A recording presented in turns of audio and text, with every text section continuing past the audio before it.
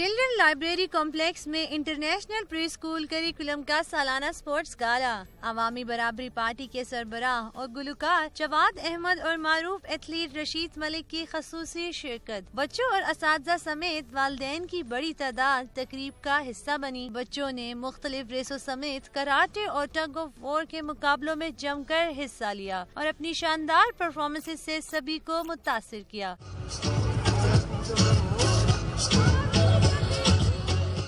B P کے سربراہ کا کہنا تھا کہ ایسی تقریبات کا انعقاد ہوتے رہنا چاہیے جو کہ انسانی صحت کے لیے انتہائی مفید ہے۔ بچے جب تک یہ چیزیں نہیں کریں گے، میں نہیں سمجھتا کوئی ایون مکمل انسان بھی بن سکتے ہیں۔ کیونکہ آرٹ بھی سپورٹس بھی لٹریچر بھی اور پھر اکیڈیمکس بھی جو بھی آپ پڑھنا چاہتے ہیں جو بھی آپ بننا چاہتے ہیں یہ چاروں چیزیں ساتھ ساتھ چلنی چاہیے یہ ضروری ہے بہت۔ اساتذہ اور طلبہ نے بھی ایسی تقریبات کے انعقاد کو خوشائن قرار دیا۔ میں اپنے پیرنٹس کے ساتھ آئی ہوں اور میں نے ریسز میں بھی پارٹیسپیٹ کیا ہے۔ میں فرسٹ آئی ہوں اور مجھے بہت مزہ آ رہا ہے ادھر۔ ایسی ایکٹیویٹیز تو بہت ضروری ہیں۔ ان کے علاوہ تو بچے obviously they will get bored from the daily routine all over جو ہے سیشن آپ کا چلتا ہے تو پورا ایئر آپ اسٹڈی میں بزی رہتے ہیں تو یہ والا جو ایونٹ ہے بہت امپورٹنٹ ہوتا ہے for their mental and physical nourishment غیر نصابی سرگرمیاں جہاں صحت کے لیے اہم ہے وہیں بچوں کو خود اعتماد بنانے کا بھی ذریعہ ہیں۔ کیمرہ مین ایوب کے ساتھ سندس خان، لاہور نیوز۔